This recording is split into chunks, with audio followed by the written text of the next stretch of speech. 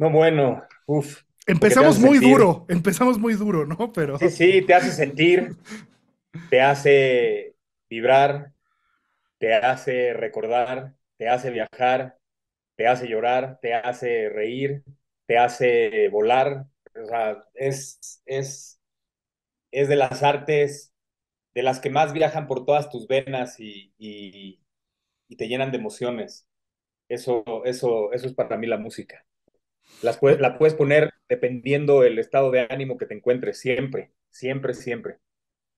Oye, Héctor, bueno, dijiste algo bastante interesante que es eh, eh, el tema de que, te de, que te lleva a tu pasado, ¿no? Y también te puede llevar, esto ya lo sumo yo, te puede llevar a tu futuro. ¿Por qué crees que la música tenga esa fuerza de, de trasladarnos?